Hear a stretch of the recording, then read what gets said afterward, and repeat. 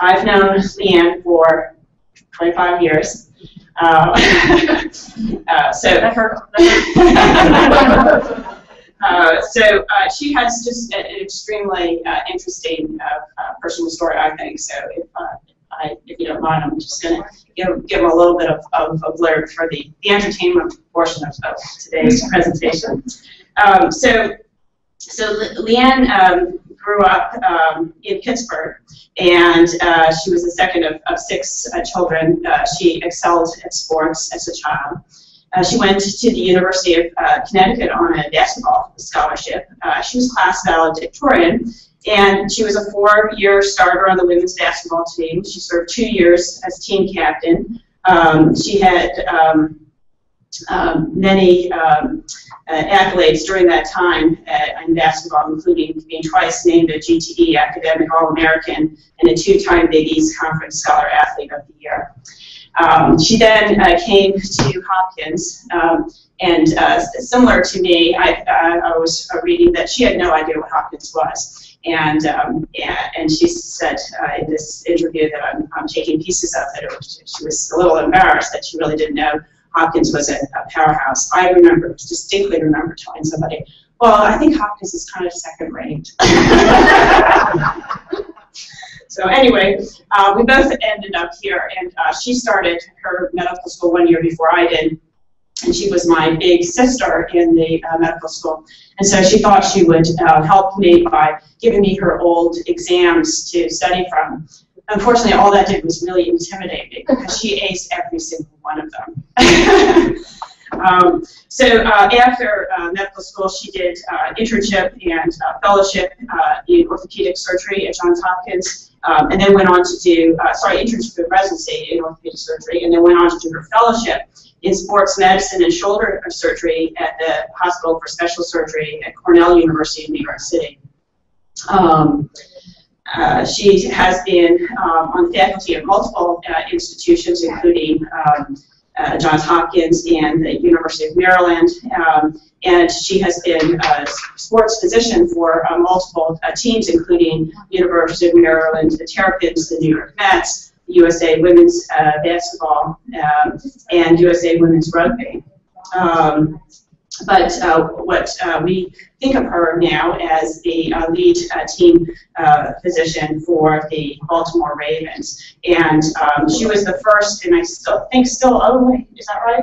Uh, there's, and the sister, two now in assistant roles. Okay, but you are the only female lead physician for the NFL. So, um, you know, I I think that that's all really neat. Of course, her most important work is with the FSH uh, population. um, and uh, you know, there, there are very few people across the country who really know how to do scapular fixation well. And um, I essentially only refer uh, patients to her, and I know that uh, the FSH Society also uh, refers uh, patients to her. And so we're really very fortunate to have her tell us what she's learned about this. So thanks for taking the time morning. Really good to see my guests who are across the street in, uh, in school. So in terms, let me just go back in terms of how I got introduced to this procedure. Uh, when I was doing my training at Hopkins, there was a pediatric orthopedist, uh, Dr. David Thompson, who I consider one of my mentors. And he, as you know, being a pediatric orthopedist, saw a lot of neuromuscular diseases. And um, he took a significant interest in individuals with FSH. And this is actually the procedure that he basically uh, came up with and technically perfected uh, and taught me.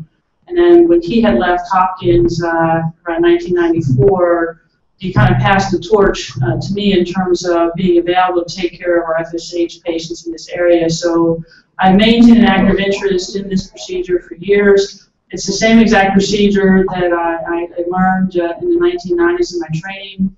I'm just much more efficient at it.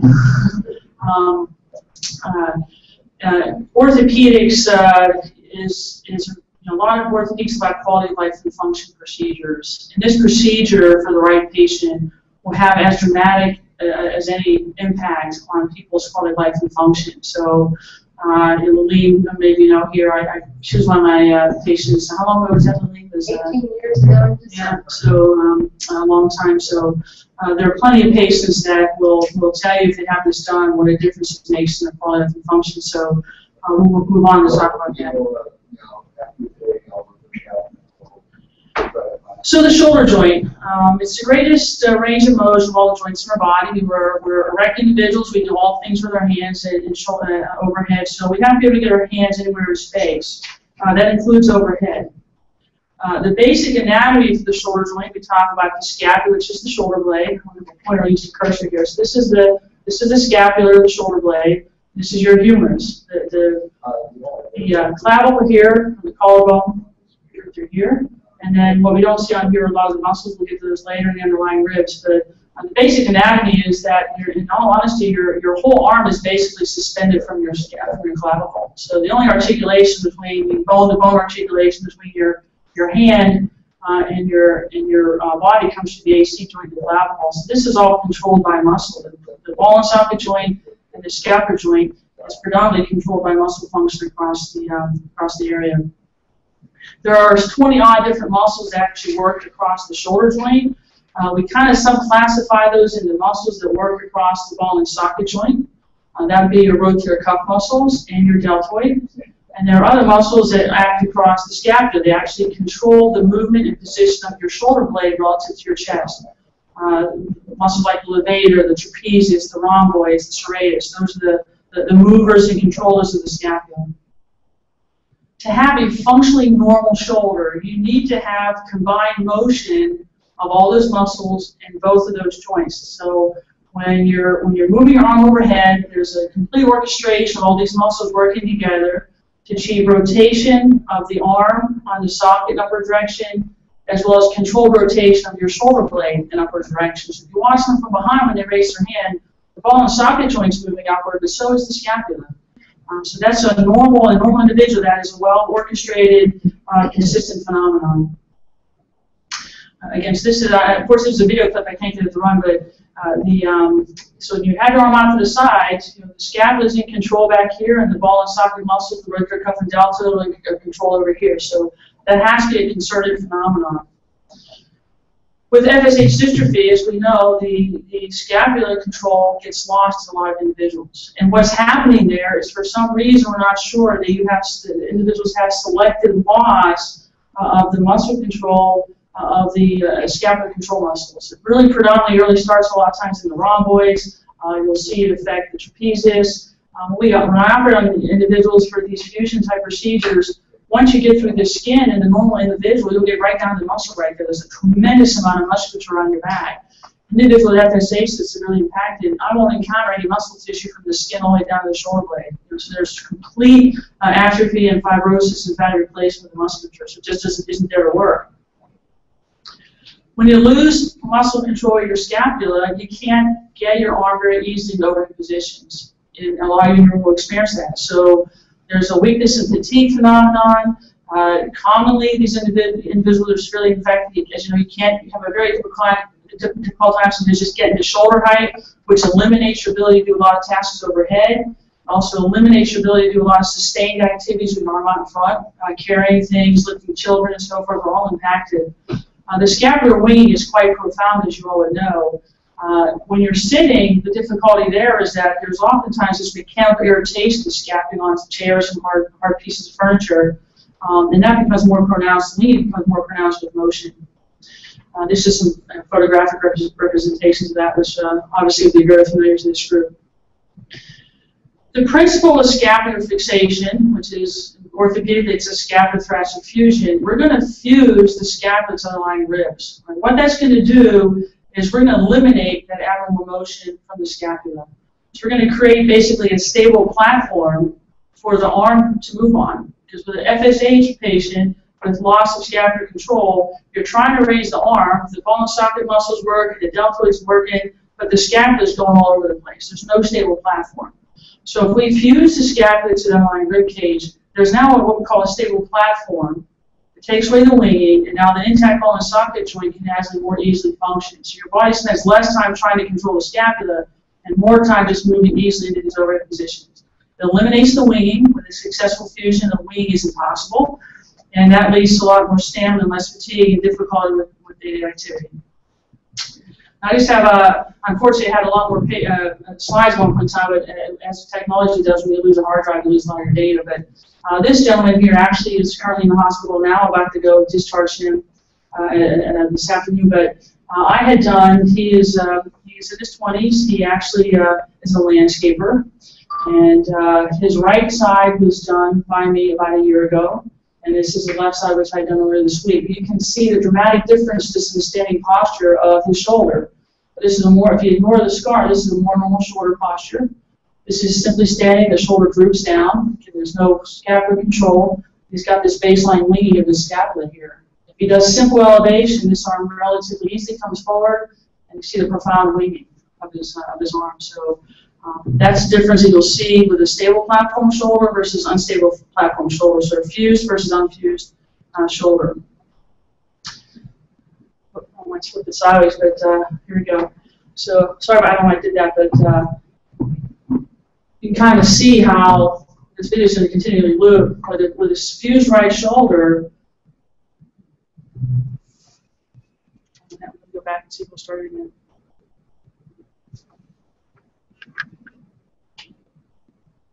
Try to get him started, see if we flip it. So the right shoulder, he easily gets his hand overhead. Uh, with the unstable left one, he really struggles, even gets a trunk lean to try to get the arm barely to 90. So dramatic difference. So uh, I had fused his one shoulder. He, uh, he did well with that. He worked all summer uh, with his landscaping business that he started on his own, and uh, he came in to get the other one fused over the winter months to be ready for the spring. So he's um, he's a relatively representative example of what you should expect with a properly chosen patient. So who are surgical candidates? Well, obviously, uh, need to be relatively healthy without any additional medical concerns that make you high risk for surgery. Uh, poor shoulder function with a desire to be better. Some people perfectly adapt to loss of function, have no interest in undergoing any procedures for that. Uh, the involvement has been limited to the scapular muscle. This is the key selection criteria for an FSH patient. Um, well, in a lot of patients, the disease process is limited to the scapular muscles. There are those who have uh, effect on the deltoid and the rotator cuff. So if you have involvement of both groups of muscles, you're not going to really see the benefit from a scapular fusion even if, if you don't have enough deltoid control or, or cuff control along socket joint, you won't achieve any improvement in movement. So uh, it's really about proper patient selection as it is with a lot of surgeries in general. How do we determine that in the office? Well, there's a bunch of steps we'll go through to assess is the rotator cuff working, is the deltoid working. Uh, there's a maneuver called a manual compression test where I'll stand behind the patient. I'll really physically try to control the scapula with my hand, mimic the fusion, and we'll see if we can see what kind of elevation they'll demonstrate. Uh, that is a, a helpful test. Uh, but there are some other maneuvers we'll do an exam simply to assess his rotator cuff functioning or not. Um, patient obviously has the desire or willingness to undergo the procedure and comply with the post-operative restrictions, which are relatively cumbersome. Will talk about that. It's a relatively long process from surgery to full release. I've become a little bit more uh, generous with my time frames compared to before, uh, coming to trust what we do and, and, anticipating when the fusion occurs. So it's probably not as restrictive as it may have been 18 years ago, but it's still quite burdensome nonetheless. I'll walk you through this procedure. The procedure itself is, it's done under general anesthesia. People are intubated on the belly, you're fully asleep, right? We roll you, uh, the patient face down, his operating on the back, and obviously individuals are fully monitored. We'll make an incision along the border of the scapula, much like you saw the gentleman's uh, picture from earlier earlier this week.